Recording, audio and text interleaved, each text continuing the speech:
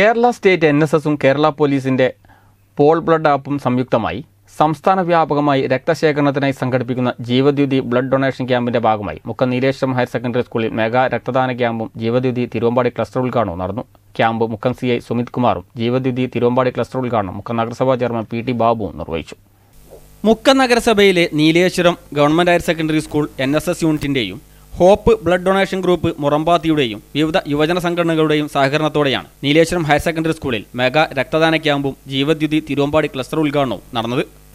Kerala state N S എസും കേരള പോലീസിന്റെ Paul blood ആപ്പും സംയുക്തമായി സംസ്ഥാന വ്യാപകമായി രക്തശേഖരണത്തിനായി സംഘടിപ്പിക്കുന്ന ജീവദ്യുതി ബ്ലഡ് ഡൊണേഷൻ ക്യാമ്പിന്റെ ഭാഗമായും നീലേശ്വരം ഹയർ സെക്കൻഡറി സ്കൂളിലെ നൂറാം വാർഷികത്തിന്റെ ഭാഗമായുമാണ് ക്യാമ്പ് സംഘടിപ്പിച്ചത്. ക്യാമ്പിൽ നൂറിലേറെ പേർ പങ്കെടുത്തു. കോഴിക്കോട് കോട്ടപ്പറമ്പ് സ്ത്രീകളുടെയും കുട്ടികളുടെയും സർക്കാർ ആശുപത്രിയിലേക്ക് നൂറ് യൂണിറ്റ് രക്തം നൽകുക എന്ന ലക്ഷ്യത്തോടെയാണ് ക്യാമ്പ് സംഘടിപ്പിച്ചത്.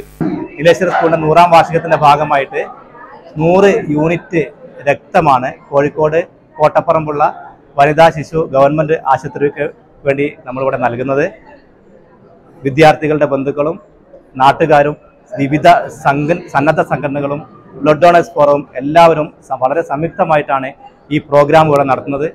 കേരളത്തിന്റെ higher secondary cell Kerala police call ആപ്പുമായി ചേർന്ന് നടത്തുന്ന ജീവദ്യുതി എന്ന് പറയുന്ന പദ്ധതിയുടെ തിരുവമ്പാടി ക്ലസ്റ്റർ തല ഉദ്ഘാടനമാണ് ഇന്നിവിടെ നടന്നത്.